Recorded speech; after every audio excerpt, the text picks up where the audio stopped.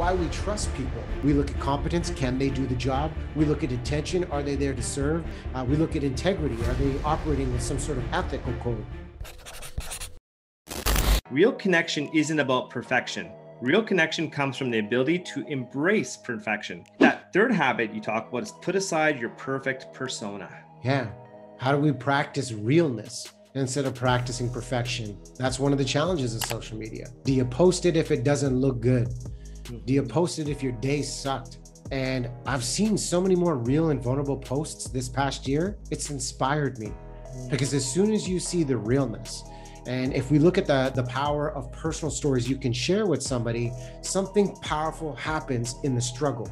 You build connection. Mm-hmm. If somebody is telling you a story, like my formula for storytelling is struggle, conflict, and resolution.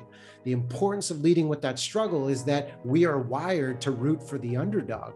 Mm-hmm. And one of the tips of putting aside our perfect persona as a leader is going first. Because right now, what's happening as people are being onboarded remotely, think about your first day on the job. You started, you have anxiety, but you haven't even met your teammates in person. Mm-hmm. So you're a little reluctant to share.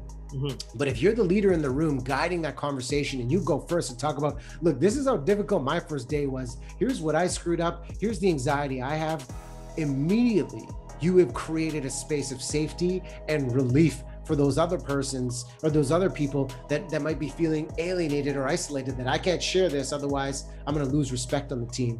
Mm-hmm. So I'm encouraging uh, groups, if you're the leader in the group, go first. Yeah. Share what's truly going on, but but make sure the people in the room are ready to absorb uh, that truth. And there's a great term in psychology known as the pratfall effect which doubles down on the idea of conveying credibility before vulnerability. Because, and that's why it's valuable for the leaders to go first, because as the leader, you have credibility, you've established your authority. And when you go first with your vulnerability, it draws people closer because it humanizes you, even though you're the person people look up to. But if people are already questioning your competence to begin with, I mean, think about why we trust people. We look at competence, can they do the job? We look at intention, are they there to serve? Uh, we look at integrity, are they operating with some sort of ethical code?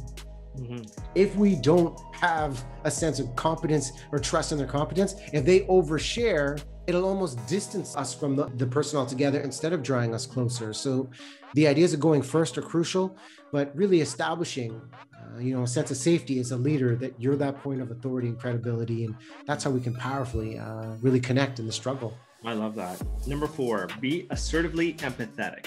This really involves, if someone might be listening to this saying, assertively empathetic, like can these two words even coexist mm-hmm. together? Mm-hmm. The encouragement here is to ask ourselves, what gets in the way in terms of your reaction when you disagree with someone? I disagree because because we're very quick to jump in and interrupt. Maybe we disagree with someone and then we emotionally shut ourselves off. We've stopped listening. We give unsolicited advice. But the idea of being assertively empathetic is truly the sense of acknowledgement, truly the sense of discovery before we dismiss someone when we disagree with them.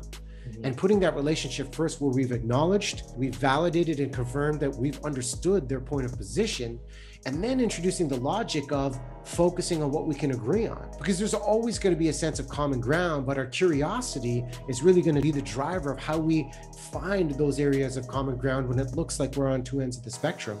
Mm-hmm. So acknowledging them first, asking the questions of where you're at, what do you really need, what's the real challenge here for you, and then focusing on you know what you can agree on. That allows us to be on the same side of an obstacle instead of hey, it's me versus you, and then it, it's a full out confrontation instead of collaboration.